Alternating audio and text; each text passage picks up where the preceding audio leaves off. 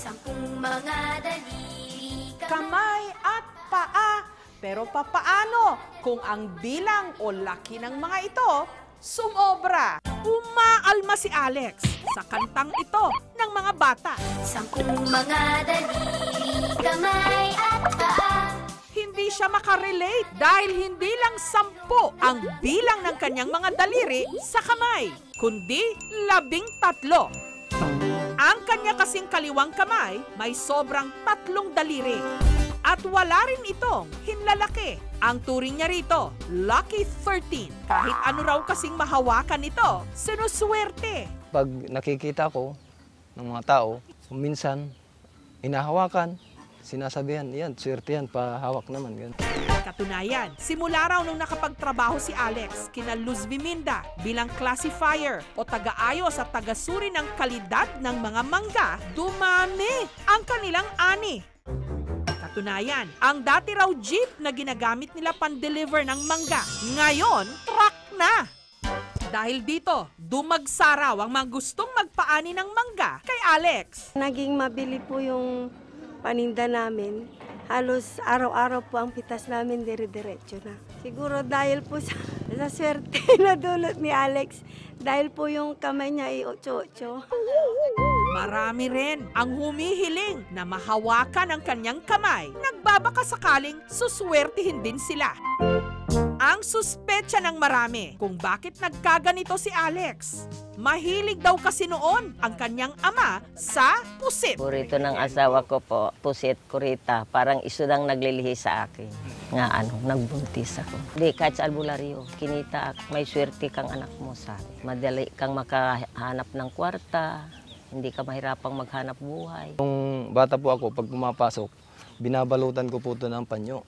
Tapos nilalagay ko po sa bulsa. Kaso, napapansin lang din po eh. Tinasabi sa akin pag tinutukso ako, putol, putol, putol, ganun po yung sinasabi. Kasi nakabalot po siya. Pero para sa kinakasama ni Alex na si Melinda na anim na buwang buntis ngayon, walang kaso ito. Hindi naman ako natakot kasi hindi naman yung hadlag sa pagmamahal namin. Han, ano to?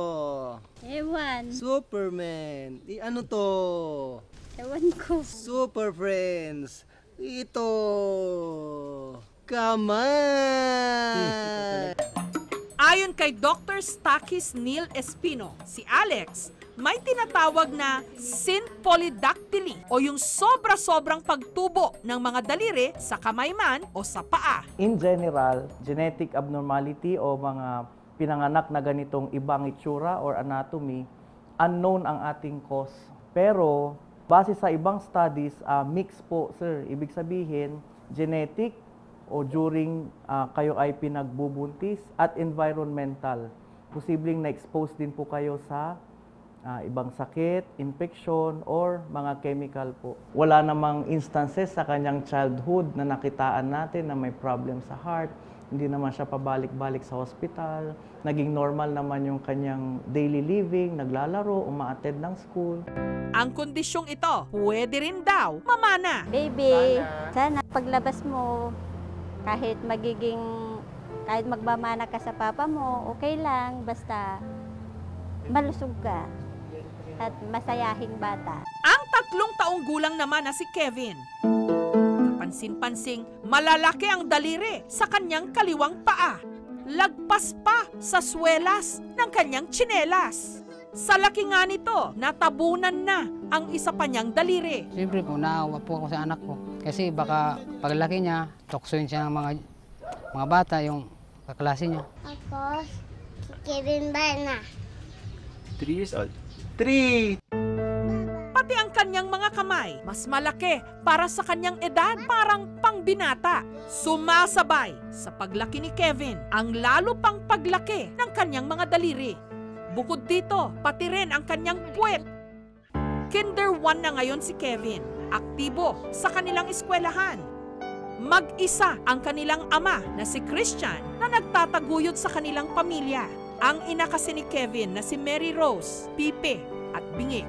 Kasi daw, si Kevin daw, hindi niya daw kasi alam yung sinasalita ni teacher, hindi niya daw maintindihan kung may mga bayarin sa school, kagaya daw ng books. Wala man daw siyang boses. Para turuang magbasa ang kanyang anak, nagpupursige si Mary Rose na gabayan ito, lalo't kakaiba ang kanyang kondisyon. Una, akala raw nila na mamagalang ang mga parte ng katawan ni Kevin. Nung ipanganak daw na sinabi nga nung kasama namin na malaki yung daliri, sabi niya daw ipatanggal. Pero sabi ko naman, wag, magagalit si Lord. Sabi niya daw, wag. Ayaw niyang makita. Pakiwari ni Mary Rose, ang salarin sa paglaki ng daliri ng kanyang anak, ang pagkain ng ube. Sabi ko, hindi naman yan. Para isang base kumain. Mabuti kung nakuha talaga niya. Sige-sige niya kumain yun. Mula Camarines Sur, iniluwas namin si Kevin sa Maynila para mapatignan sa isang geneticist. Mula raw nung ipinanganak si Kevin, ngayon lang siya matitignan ng isang doktor. Kaya po ako nagpapagawa ng abdominal ultrasound, skeletal survey ng kanyang katawan para makita po natin yung extent ng apektadong organ. Kasi may ibang pasyente, nakakaunti yung apektadong parte, may ibang pasyente na marami. Matapos isagawa ang physical evaluation sa bata, inirekomenda ni Doktora April na ipasailalim ang bata sa x-ray at ultrasound test para makasiguro rin sa kalagayan ng kanyang internal organs. Si Kevin ay may di pantay na paglaki ng ilang daliri sa dalawang kamay. Ah, meron din siyang di pantay na mga paglaki ng daliri ng kaliwang paa. Hindi rin pantay ang kaliwa at kanang bahagi ng kanyang puwet. At meron ding pagkapal ng balat sa kaliwang talampakan at nakakapangbuhol sa kaliwang talampakan. Sa x-rays na ginawa, nakita rin na ang kaliwang binte at braso ni Kevin ay mas malaki kumpara sa kanan. Sa ultrasound, merong bahagyang paglaki na kanyang atay kumpara sa kanyang edad. Ayon sa paunang evaluation, meron siyang overgrowth syndrome na maaring maging proteus syndrome, pambihirang kondisyon kung saan abnormal ang paglaki ng buto, balat o iba pang tissues ng katawan. Kailangan nating bantayan dahil siya'y bata pa ah, sa ang posibleng paglabas ng iba pang sintomas. Pinabulaanan ng doktor ang mga haka-haka sa kondisyon ni Kevin. Nangyari kasi ang mutation pagkatapos na mag-combine na ang sperm at ang egg. So, depende sa timing kung kailan nangyari yung mutation sa stage ng pag-develop ng katawan ng isang tao, kung ano-anong mga parte at gaano karaming parte ang apektado. Walang kinalaman ang Proteus syndrome sa anumang kinain ng magulang habang siya'y nagbubuntis, sa ube, or pagbibigat, ah, pag, pagbubuhat.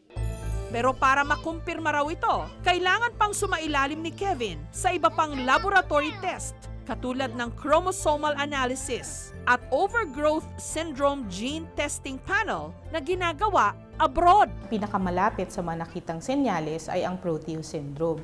Ngunit kailangan din nating ikumpirma muna ah, sa pamamagitan ng gene testing.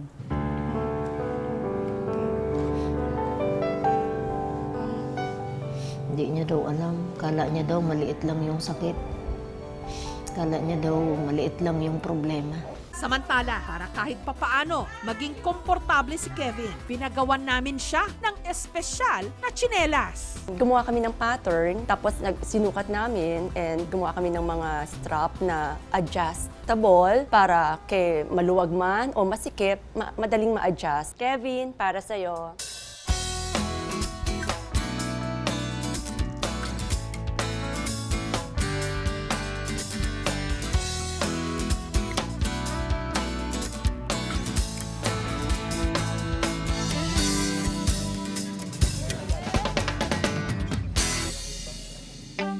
Ang kanilang pamilya, binigyan din namin ng dagdag na pangkabuhayan.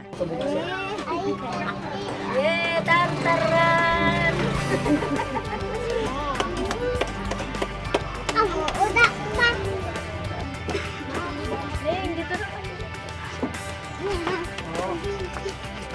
Tindahan, hindi niya daw alam. Surprise daw po siya. Kaya maraming salamat daw po yung ganyan niya. Thank you, thank you daw po. Ang mga katulad nila, sumobra man sa ordinaryo pero kailanman hindi ito dapat tignan bilang kakulangan.